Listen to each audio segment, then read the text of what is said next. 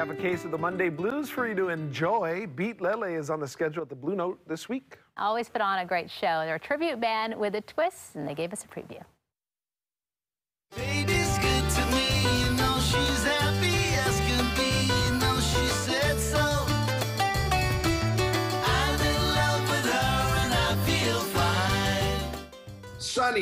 good to me, you know she's happy as can be, you know she said so. I'm in love with her and I feel fine. Sonny, Nolette, Alistair, and Dennis all make up Beat Lele. Thanks you guys so much for joining us. Appreciate it. All right, thanks for having us back. This is awesome. Um, and you guys are playing another show at the Blue Note this Friday. Uh, tell me what folks that come down can expect. If I trust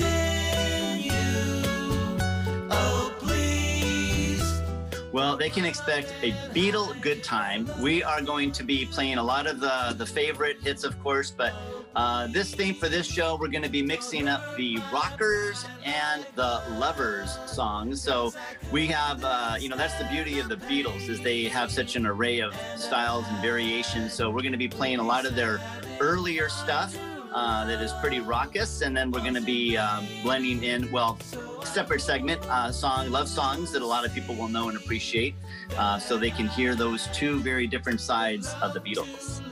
And I know you guys are you guys are regulars at the Blue Note. I know that it's a great place. You guys love playing there. Um, but it does seem like you guys are regulars. Why do you think that is? The Beatles music is so universal, and I think uh, even for the younger generations now that are discovering the music of the Beatles and how that compares with today's music, and I'm a little biased, but I think uh, it's much better than t- today's music. But uh, but I think a lot of people are um, really uh, getting into the Beatles, you know, year after year, and appreciating the great songs and the, the songwriting, and to be able to see those songs performed live uh, here in Hawaii is a rare treat, and we're just happy to be able to provide that music for them. BlueNoteHawaii.com is the place to get tickets. You guys have a, sh- is it one show or two shows Friday?